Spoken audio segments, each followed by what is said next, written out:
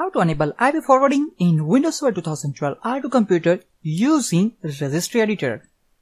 So this is the our lab scenario. We have a two networks. One is 192.168.49.0 and the another one is 192.168.50.0.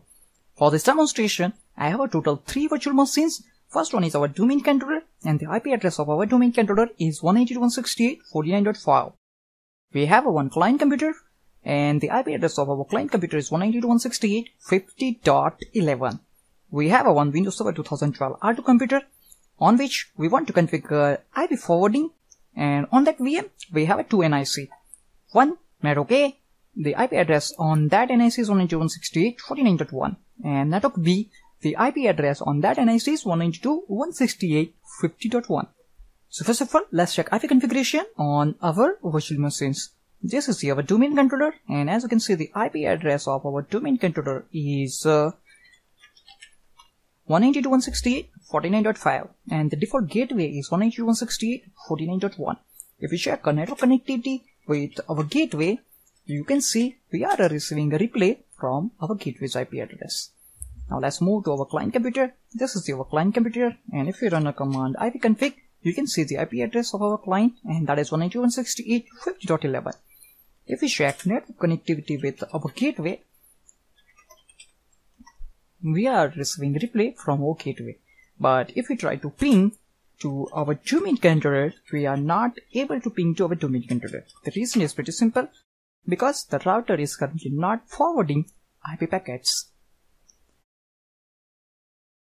And this is the our Windows Server 2012 R2 computer and we have a two network interface card over here. Network A, the IP address is 192.168.49.1 and network B, the IP address on this interface 192.168.50.1 and we want to enable IP forwarding on this server.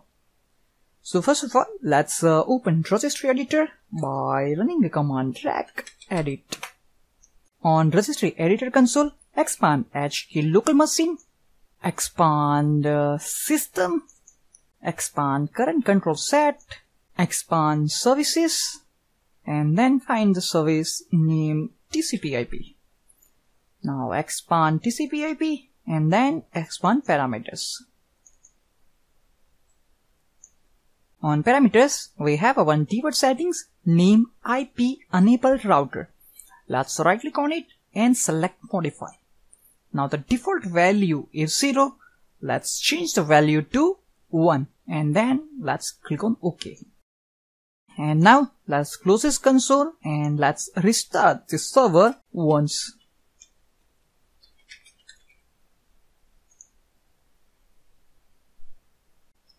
After restart, let's again log into our server as an administrator.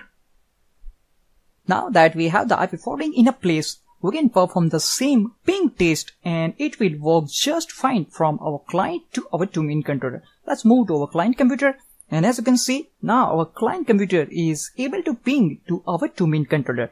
If we run a reset command,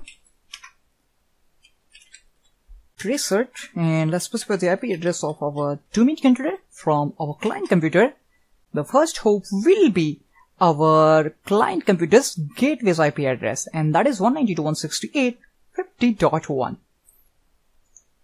So this will be our first hop and this will be the our second hop.